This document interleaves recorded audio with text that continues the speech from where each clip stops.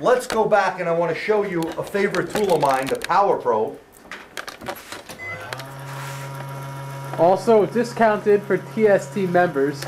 Okay.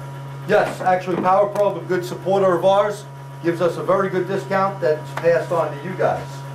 Now, what I'm gonna do is I'm gonna take this amp clamp and I can either go around this wire, okay, or the other wire. And if you look, I have power going in, I got jumper wires, the little GM or Thexton leads in there. And when I click the motor, look at the amperage right here. You see that amperage is going up? Don't worry about the, the red. Look at the blue. If I slow the time up,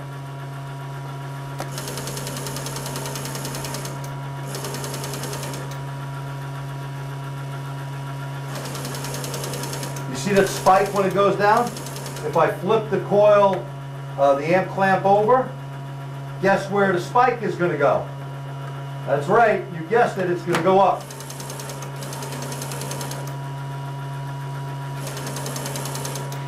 So this particular motor, that's zero.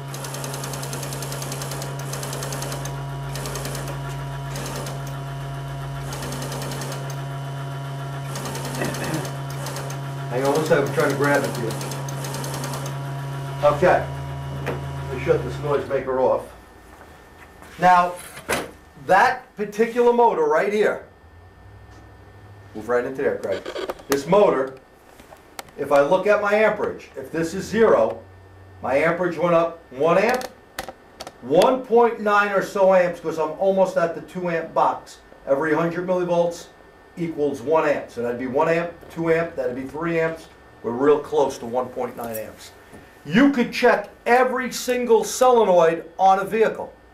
There are many of solenoids, whether it's an evap solenoid that typically pulls three to 400 milliamps, three to 400 milliamps, very small amperage, okay, or injectors that may pull a little more, or an EPC solenoid, electronic pressure control on a transmission that can pull five to seven amps for approximately a couple of milliseconds, about three milliseconds. It's like that peak and hold injector.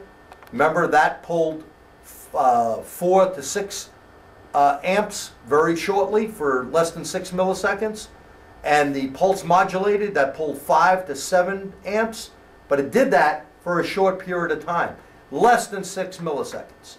Anything more than 1.2 amps, again, will burn the computer circuit up.